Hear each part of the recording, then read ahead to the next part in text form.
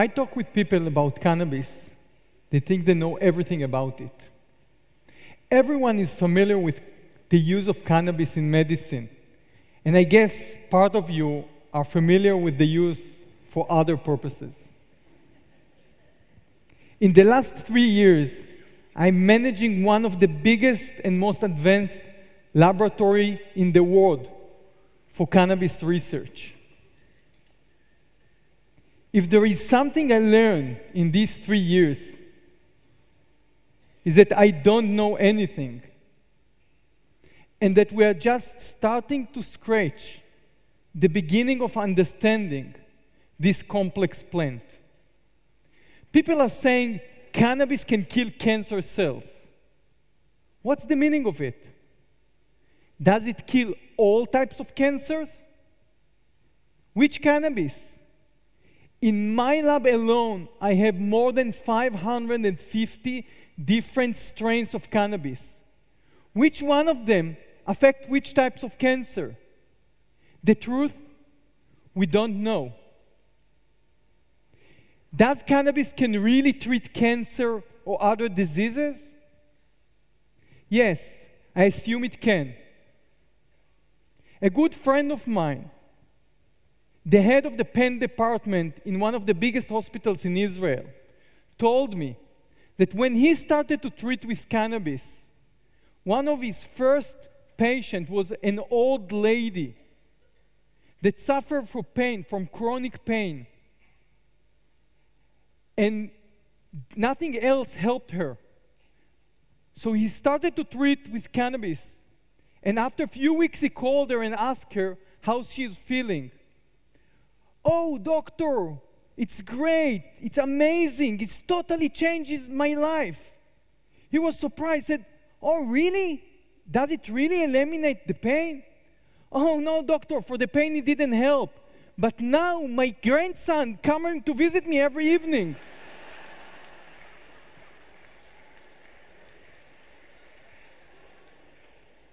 so, how cannabis is affecting us so powerfully? On the cannabis flowers, there are cells that produce unique compounds. These compounds called cannabinoids. And these compounds are unique since our body can produce similar compounds. Actually, in our body, we have a special and important system called the endocannabinoid system. This system regulates relax, eat, sleep, forget, and protect. All these important processes and cannabis compounds affect our body through this machinery. I will give you one example. There is two ways to feel hunger. One is through our stomach and one through our head. When we're not eating for a long time, our stomach shrink and we're feeling hungry. But how many times do we eat even when we are not hungry? We're finishing a huge meal. We cannot breathe. We're totally full. And then come the dessert. it is not your blame. It's all the endocannabinoid system, believe me. Using cannabis in medicine, it's not something we, inve- we invent in the last years. Did you know that cannabis is one of the ancient plant human being used as a medicine. The Chinese used it thousands of years ago as a major medicine. The Egyptian used it to treat glaucoma and inflammation. Till 1937, more than 100 illnesses were treated with cannabis. If you will open a medicine book from 1920, and I did it in Portland half year ago, you will find out that the whole chapter is dealing with cannabis and illnesses. So think about it, it's crazy. For 5,000 years, it was the major medicine for mankind. And in the last 80 years, it just disappeared. So, how cannabis came back to the medical arena? Charlotte Figi was born in 2006 in Colorado. When she was three years old, sorry, when she was three months old, she started to suffer from seizures. She had more than 50 seizures a day. Till she was five years old, she already tried every medicine on earth and nothing helped her. By then, she already lost her ability to walk, talk, and eat. She was about to die. When she started to use cannabis, it totally stopped her seizures. From 50 seizures a day to one or two seizures a week, and then totally eliminated. Charlotte used cannabis with very low amount of THC, the only compound that have psychoactivity activity in the, in the cannabis. So actually, it didn't make her to, feel, to be high or stoned, but it still eliminate the seizures. Two months ago, a guy came in my lab with a small bottle in his, in his hand and asked for my help. This guy, Daniel, told me that his wife had a small car accident four years ago. And th- since then, she started to suffer from seizures. For a whole year, she was in and out the hospital, trying to find a medicine to help her to reduce the seizures.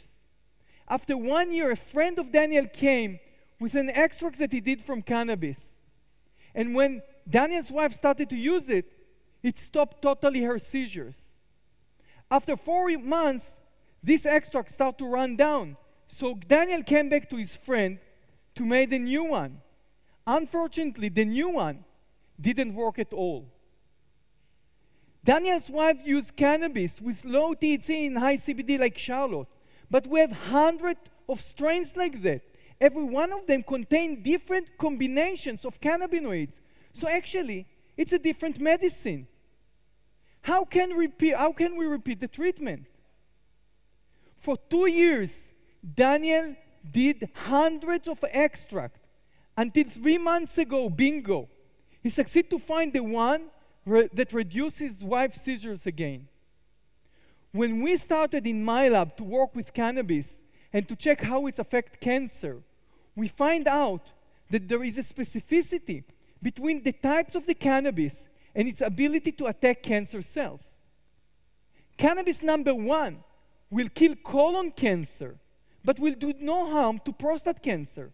But cannabis number two will do no harm to the colon cancer, but will kill the prostate cancer. But what are the differences between cannabis number one to cannabis number two? What are the differences between the cannabis that Daniel's wife is using now to the hundred she tried in the last two years? You will be surprised to learn that nobody in the world can give you this answer.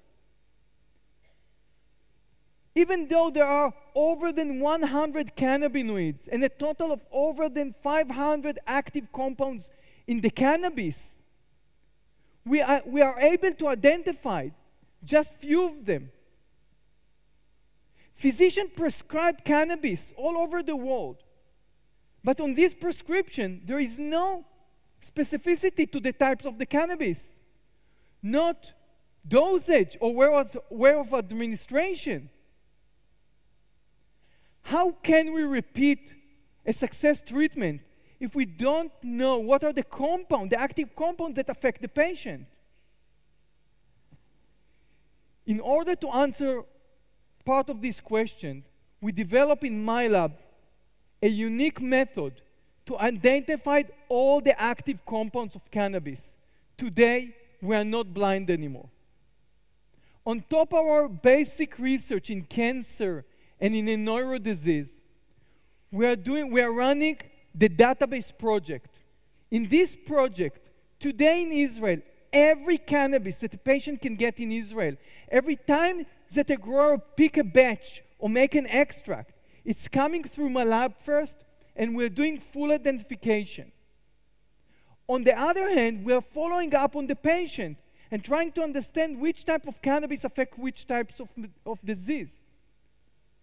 The idea is to merge these two arms and to say in these 30 strains, these 30 strains elevate appetite in 80% of the patient. What are the common compounds in these strains that are not existing in the strains that not elevate appetite? And to this, to take to animal model and clinical trial to make it evidence-based. Two years ago, we started to treat autistic kids, very severe autistic kids, in Israel with cannabis. These kids, most of them didn't communicate at all. Most of them not even in eye contact. These kids are very violent for themselves and the surroundings.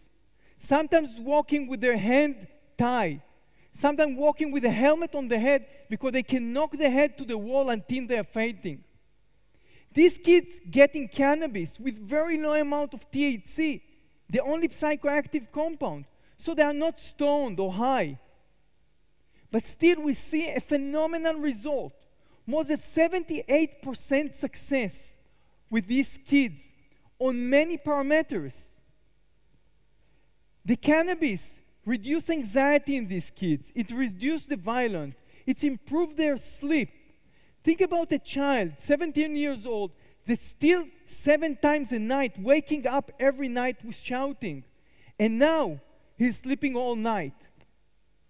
But even the most incredible thing, it's improved in the communication. A mother called me and told me that her, her son, 19 years old kid, was hospitalized for four years because he was very violent. But two months, just two months after he started to get cannabis, he was released home because there was nothing to do with him in the hospital anymore. When he came home, it was an evening. So his mother asked him what he wants for dinner. And for the first time, the first time in his life, he looked in her eyes and said, An egg. This mother told me, Dedi, you don't understand. It's not that my child is a normal now. He didn't ask a scrambled egg with onion. But when, from the moment he was born, I'm reading stories to these kids. I'm talking with him. I'm asking questions. He knows what it is an egg. He knows what he wants to eat. I didn't waste all my life. These things changed this family's life. Two months ago, the companies that supply the extract, the cannabis extract to these families, had a problem with the crop. It's a plant, it didn't grow well. So they had to create, to produce an extract with similar strain. Again, high CBD, low THC ratio 20 to 1, so similar that this company thought that they can say that it's actually as the original one. But after a few days, the dream crashed. These kids become violent again.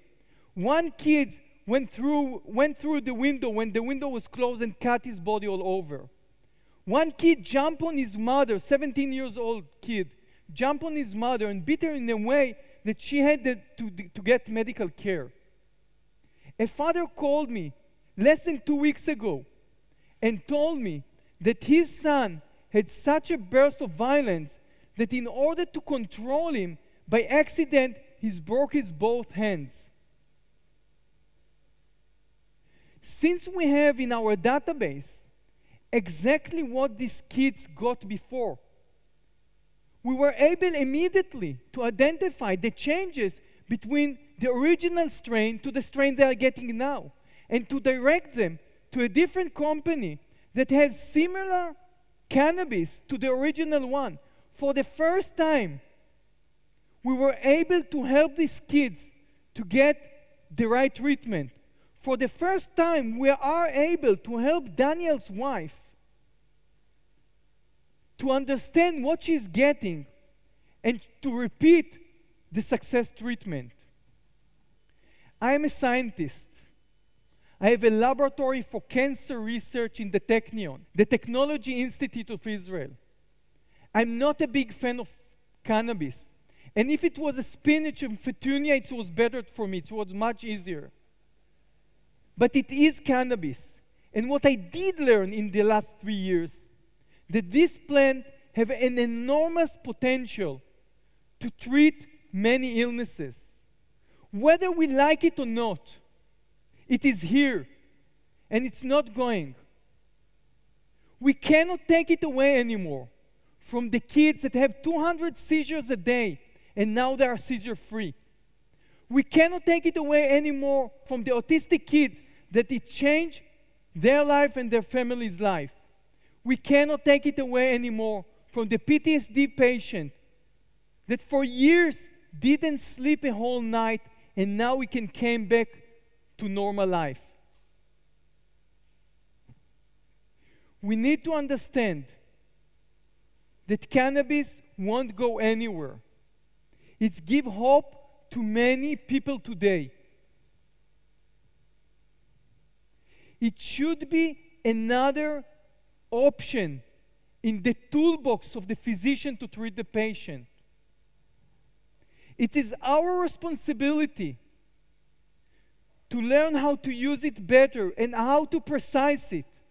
It's our responsibility to take it to the next level. We, the scientist, the physician, the community, owe it to our patients. Thank you very much.